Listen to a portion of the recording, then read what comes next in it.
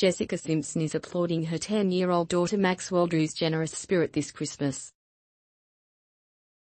The open book author, 42, shared a photo to Instagram of her mini-me posing in checkered pajamas and slippers with a pile of pet supplies at Agoura Hills Animal Rescue after Maxwell spent Christmas Eve supporting animals in need. Yesterday, Maxwell came home after visiting at Animal Rescue and decided to make dog, cat, and rabbit treats for the whole gang. Simpson wrote in the caption.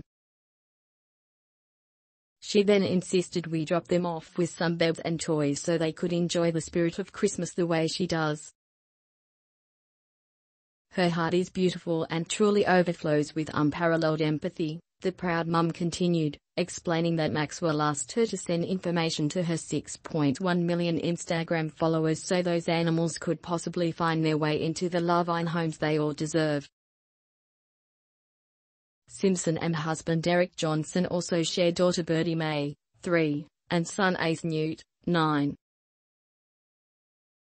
Last week, Simpson wore a bright blue faux fur coat in some colorful shots of her family out and about celebrating the holidays.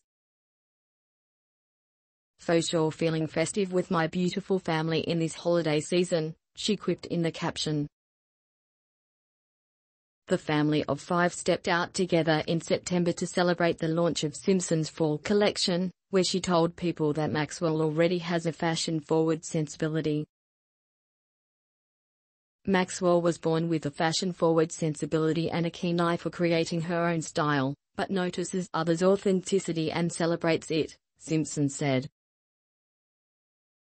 She has always known what she likes and remains very confident and vocal about her choices. Maxwell also works behind the camera. After sharing a photo of herself earlier that month, Simpson revealed that Maxwell was behind the shoot, posting a behind-the-scenes photo of the child holding the camera.